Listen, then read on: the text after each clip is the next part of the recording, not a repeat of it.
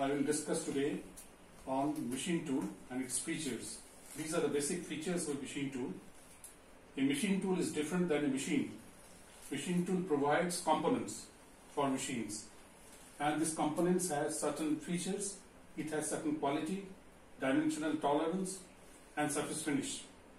And this machine makes that dimensional tolerance and the surface finish. A machine tool should have the following features. The first is the frame. Second is the holding device. Third is the speed drive mechanism. Fourth is the electrical control. Fifth is the cutting tool and lubricating system. And sixth is the safety devices. This machine tool, the frame is a rigid body of the machine. And this frame constitutes bed, base, column, slides, table, carriage.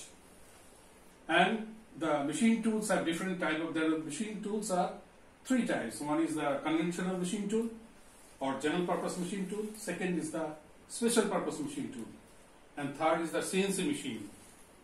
The general purpose machine tool have various varieties because the operational flexibility of the machines that is called the general purpose machine. Special purpose machine functions only for a particular operation in a mass production system.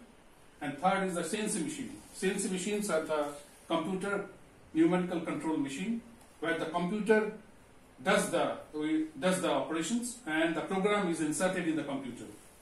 So whatever be the form of the machines, the the machine tool has the following features. The bed, base, column, slide, table, carriage is the frame. Frame constitutes the rugged structure and this holds the all the thing bed, base, column, slide, stable, carriage. And this holds the entire machine and the job as well as the holding device, speed drive, gearboxes, whatever may be. So the bed, base, column, slide, stable. and the bed, the machine bed, say for the example of the lathe, lathe has a bed, has a base, but lathe doesn't have the column. A milling machine has a column. The, the lathe has a slides, table, carriage and the milling machine has a table, column. So these are the different combinations for different machines. For say for example for uh, shaping machine we have a slides, base, bed but this shaping machine doesn't have the column. Shaping machine doesn't have the carriage. So like this the different combinations the frame constitutes the different combinations of this. And what, what the machine tool does? Machine tool does the continuous operation of a particular uh, job.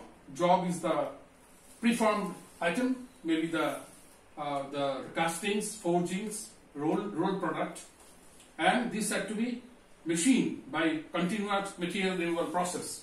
And for the material removal process, we have a job holding device as a tool holding device. So the tool the tool holding device clamps the tool and the job holding device uh, clamps the job. So if the, there is a relative motion between the job and tool which operates and which removes the material continuously from the blank and the blank is of different material maybe castings, forgings, roll product or be on or maybe other products. so these are the holding devices which is a which is a common thing for all machine tools. In case of holding device maybe the chuck, chuck for job holding device, the chuck for lathe. And in case of in case of shaping machine, the job holding device is a table.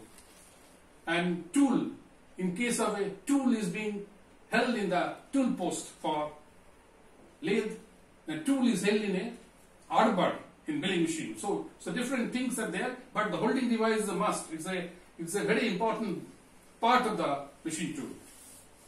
And third is the speed, speed drive mechanism.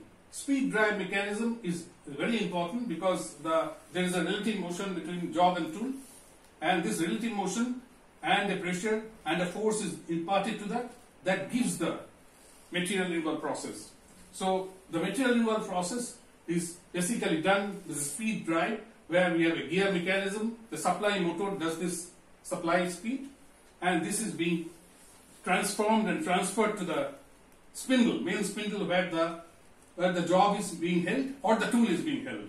So these are the speed drive, speed drive mechanism, which is a very important part because until unless you provide speed in this mechanism, there is no there is no relative motion between the between the job and tool.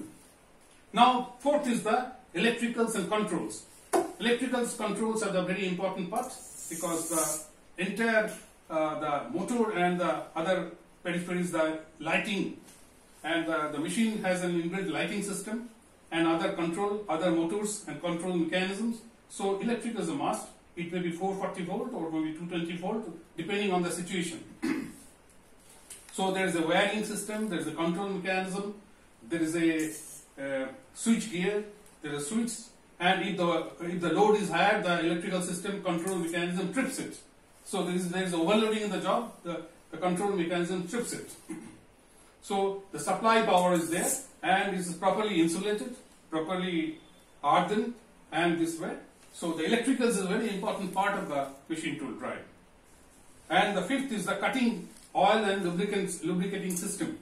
Lubricant system, cutting oil is a must for the cutting oil because the cooling system is given during the during cutting the heat is generated at the tool point. So in order to give a smooth cutting, you in the proper surface finish of the job or proper surface in the workplace, we need a cutting fluid, continuous flow of the cutting fluid and, and other lubricant system, oil system, lubrication of the different machine components. And this cutting fluid and there's another thing is that cutting fluid is mixed up with the chip. There's a chip removal system. The chip is separated from a from the cutting oil and the chip is separated and the cutting oil is separated, it's pumped in. So the circulating pump is there. So the cutting lubricant system constitutes circulating pump, a screening system. So that the lubricating oil is being separated from the chips. So these are the entire system. Six is the safety devices. We need to have a safety devices so that the, uh, there should not be any accident or there is short circuiting and there is a Uh, any accident or devices may be properly baffle, may be properly guard, the guarding system of the thing. So this entire thing gives the, the features of the machine tool.